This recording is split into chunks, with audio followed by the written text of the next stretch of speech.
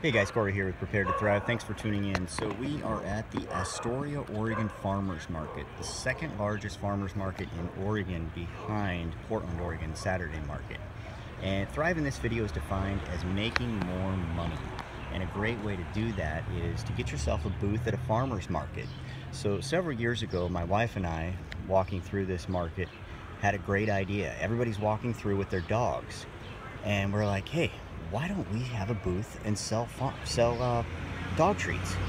So we whipped up some dog treats, and before we knew it, we were bringing in, you know, a thousand dollars a month just sitting here on half a Saturday or Sunday and selling selling dog treats. It was, it was as easy as baking cookies, and they actually tasted pretty good too. They were made with whole food ingredients and everything. I, I would snack on them.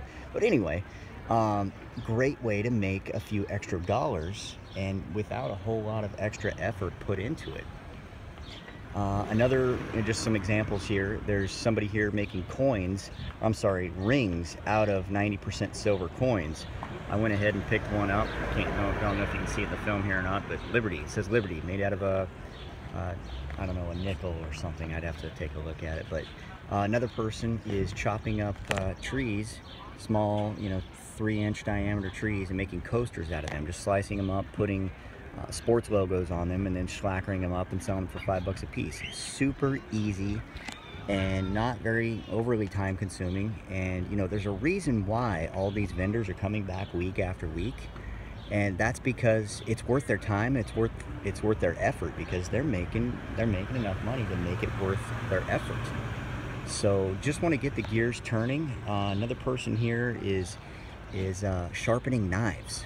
They're just sharpening knives on a KME style uh, knife sharpener.